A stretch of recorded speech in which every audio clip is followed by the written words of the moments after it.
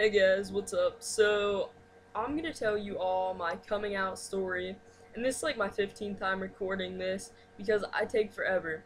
But so, here we go. My coming out story is probably similar to a lot of other trans guys, but mine is unique. So, here we go. Um, I acted like a boy from the a well, I acted like myself from the age of I'm gonna say like can younger than that like from the time that I was three until the time when I was like 13 not 13 like 12 11 from 3 to 11 I was I acted like a boy I dressed like a boy played with boys things and um just was never into anything with girls like I was just like uh, um so this is a real indication that I was gonna come out eventually. When I was five years old, I was in the play place at McDonald's, and I was playing there, and there were all these little girls, and of course I had you know long hair, so I looked like the stereotypical little girl, but I thought I was a little boy, and so we were they were all playing, and I was playing with them or whatever, and they're like, "Come on, ladies, let's go do this." And I look at them like I'm like I'm not a lady, I'm a man and they all look at me and they walk away and they didn't play with me then. So that's one of the reasons why I never came out when I was like younger because I mean, when you're rejected at 5 years old, you're not going to ever want to say anything. So I kept everything bottled up. Even though I acted like myself up until a certain age, I still kept it bottled up. People would ask me questions and I would just be like, "No, I'm normal." Well, anyway, when middle school hit and I was like 10 or 11, I started acting like the stereotypical female.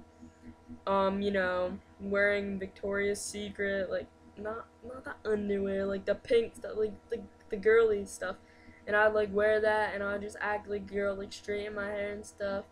But like I knew that I wasn't and I just wanted to let it all out, but I couldn't. And I expressed myself as being homophobic to people.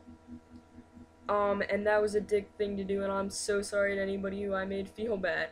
But that's why when I look at homophobic people, I'm like, are you, like, not straight? Like, because I look at myself. But anyway, and, um, so, when I was then starting high school, everybody started to come out as something. Well, not everybody, but a good select few. So I was like, I'm gonna keep it bottled up forever. No one's ever gonna know I'm trans holla at me. So then, 10th grade, December 11th, 2011, I came out to my grandmother. I went into her room at 1 o'clock in the morning, and I was just like, I have to tell you something. And I pretty much was like, I'm a boy. That's pretty much how I said it. And my family did not understand it at all, and I got so much hate. Like, my dad still doesn't accept it. At school, no one accepted me because I lived like in the middle of nowhere. And I pretty much came out like that. I got my hair cut like the next weekend. Like I just came out so fast and did it so suddenly that like I mean I just got so much hate. And that's how I came out. Like that's pretty much all that happened. Like I acted like I was uh, I was a boy. That's all I can say. I was just a boy with the female anatomy. Like that's the only thing. And my family is still kind of like like they they accept it and like they understand it. But like my dad still doesn't really. And at school most people are like kind of used to me i guess by now you could say but they're kind of not because it's not the most common thing. But um that's my coming out story. I know i kind of just threw it out there but that's how i am with everything. So thank you guys for watching. I hope it was interesting. It probably wasn't though. But um Okay, uh, see you later. Yeah, that was, okay. that was so weird the way I did that, but alright, bye.